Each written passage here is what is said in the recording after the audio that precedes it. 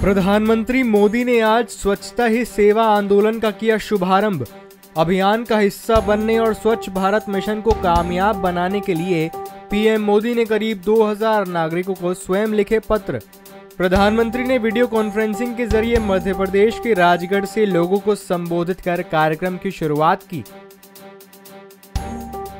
जम्मू कश्मीर के कुलगांव में सेना और आतंकियों के बीच हुई मुठभेड़। मुठभेड़ में सेना ने ढेर किए तीन आतंकी। सुरक्षा बलों ने पाँच आतंकियों को घेरा। सर्च ऑपरेशन अभी भी है जारी।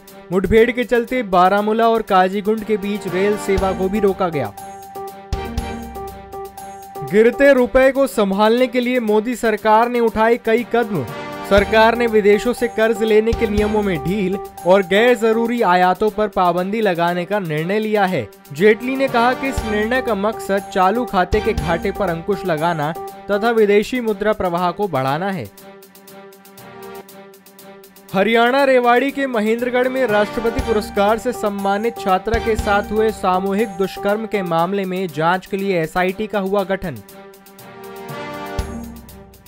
आज फिर नहीं थमा पेट्रोल और डीजल की कीमतों में इजाफे का सिलसिला।